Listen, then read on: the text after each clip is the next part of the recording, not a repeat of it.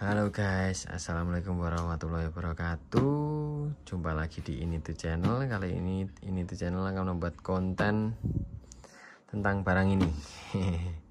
Kita baru saja unboxing yaitu impact wrench atau alat pembuka baut atau juga sama sepertinya halnya bor ya. Untuk buka pasang baut. Gambarnya seperti ini ya. Nah, ini gambarnya gambar nanti yang ada di dalam seperti ini sudah dipetakan di covernya di sini ya.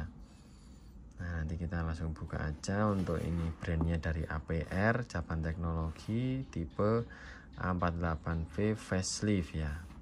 Ini keterangan kecepatannya RPM nya dan diameter apanya lah ini. Seperti ini, ini kekuatannya 450 Nm tuh ya kita langsung saja buka.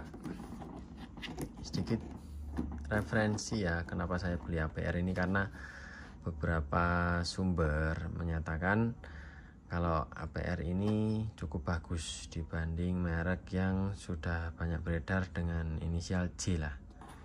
Ya inisial J. Nah, bukan menyatukan saya juga bukan dibayar cuma ini referensi saya kenapa saya beli ini. Ya karena beberapa sumber menyatakan seperti itu. Lebih kuat dan lebih handal lah lebih awet seperti itu. Jadi saya memutuskan untuk membeli ini. Ini harganya sekitar 800 ribuan. 900 ribu ada kembalian lah itu di dalamnya seperti ini. Nah, ini ada ngelepas ya. Sepertinya memang ini soketnya agak longgar. Tempatnya di sini agak longgar jadi gampang lepas dia. Seperti itu kurang sesak lah. Atau mungkin coba kita balik. Oh bisa kita balik guys. Nah gini mungkin. Ya ini agak sesak nih kalau ini kita balik lebih kecil. Ya gini aja khusus yang kecil. Seperti inilah. Gambarannya yang ada di dalam. Ada manual booknya. Tapi saya rasa manual booknya ini beda dengan tipe ini.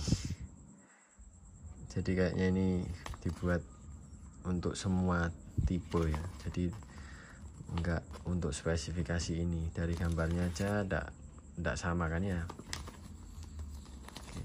Dari modelnya gambarnya indikatornya juga beda. Jadi manual book ini saya rasa dibuat untuk universal. Jadi bukan untuk yang tipe facelift ini aja itu guys. Nah ini.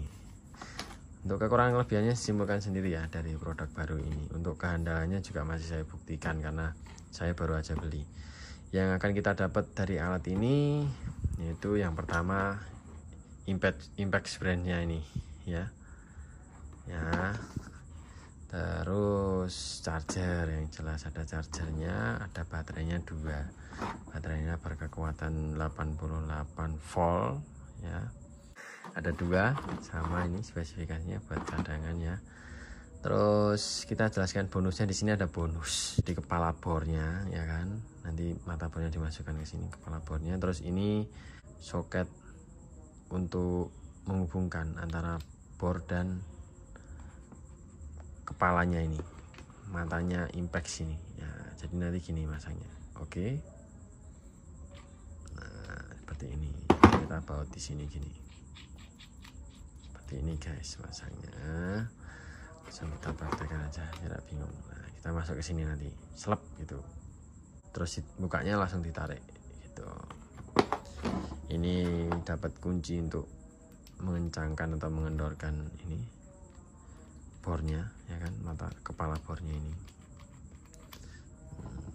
Ini bisa kita sebut apa ya kalau gini? Nyebutnya ini bisa kita sebut adapter ya ini adapter hubung yang kepala dari impactnya sendiri masuk ke kepala bornya. Tuh. Ini dapat tali untuk mungkin menggantungkan ini ya impact flashnya di tubuh kita ya. Jadi tali selendang atau selempang ini nyebutnya ya. Tali lah. Itu ini adapternya ada lagi di bagian sini di sebelah sini. Ya, ini adapter masuk ke impact brandnya ini. Ya kan masuk ke sini kemudian ininya bisa pakai soket yang model tarikan seperti ini. Nah, contohnya ini. Kalau kita masukkan ini selep. Nah bisa ya kan? Dia langsung ngunci otomatis ngunci nggak bisa ditarik. Bukanya kita tarik ini terus kita tarik depannya. Nah, agak keras ini ya? Oh gini ya. Gini. Oke kita kembalikan lagi adapternya. Apa aja yang kita dapat di bagian atas sana? Oke kita geser dulu. Selap ini ya. Hub nah ini di sini terdapat ini namanya apa ya? Adapter juga atau apa ya? Extension ya. Jadi ini untuk menghubungkan ya dari impact ini ya nanti bisa pakai ini atau langsung dari tengahnya sini guys. Jadi di tengahnya impact ini ada lubang. Nah ini untuk yang segi 6 kecil. Jadi masuk ini langsung. Ini bisa. Termasuk pakai ini bisa langsung. Di tengah sini bisa. Kayak model kepalanya skin kecil ya kan? Ini juga obengnya juga bisa langsung masuk ke tengah sini guys. Nah ya kan? Bisa. Seperti itu ini kepalanya ukuran setengah ya setahu saya. Ini setengah ukurannya. Jadi ini bisa untuk extension atau apa nyebutnya. Jadi ini bisa nekuk-nekuk guys gini. Jadi kita bisa mengencangkan baut di posisi nekuk. Contoh kita mau pakai obeng positif ya di sini. Nah gini. Kita pasang aja seperti ini. Hmm, gini kan? Terus kita kencangkan baut yang ada di posisi yang agak susah. Masuk gitu ini bisa kita putar ini akan muter sendiri. Seperti itu. Caranya guys ya. Nah, cara kegunaannya. Ini kita kembalikan lagi. Hop. Nah, masuk. Di sini terdapat juga bor ya ini untuk bor besinya. Dikasih 4 mata bor besi. Mata bornya ini 6 mili 5 dan 4 3 3456 sama kayunya juga speknya. Mata bor kayu 3456 seukuran 3456 yang besi. Ini ada 4 juga kunci. Ini 6 ini guys ya. Ini. 6 mili. Ini 8 mili. 10 mili. Ini 12 mili. Terus ada obeng minus obeng min. Begitu juga obeng positifnya ya. Kecil sedang besar ya guys.